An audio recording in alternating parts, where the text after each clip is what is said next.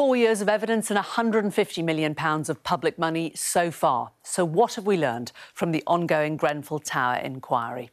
Well, announced in the immediate aftermath of the fire that killed 72 people, it was formally set up in August 2017. Phase one, which covered the events of the night, reported in October 2019. Phase two, looking at causes, has been held up by COVID delays and is now not expected to report until at least next year.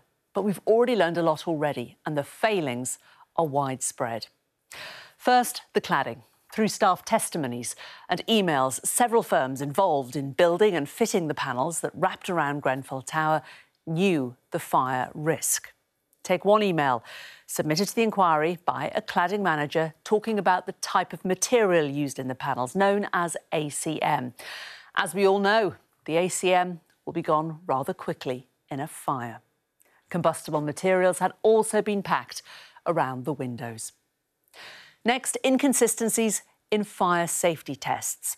The insulation had non combustible material added for testing and then a more flammable version used on the tower block.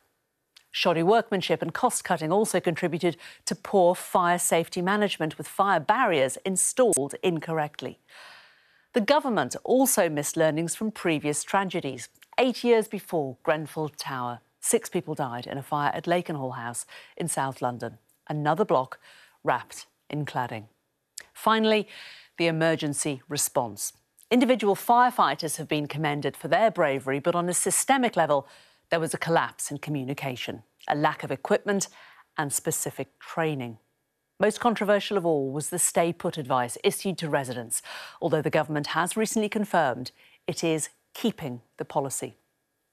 Well, the head of London Fire Brigade caused huge upset and later quit when she told the inquiry she wouldn't change the brigade's response on the night. The inquiry can sometimes feel like a game of passing the buck, but the Met Police have confirmed that no criminal charges, including charges such as corporate manslaughter, will be brought until after the final phase of the inquiry concludes. And although government figures show 94% of high rise buildings identified have the same cladding as Grenfell Tower, have completed work or started work to remove it, unsafe homes do remain, and these are concentrated in Greater Manchester and London.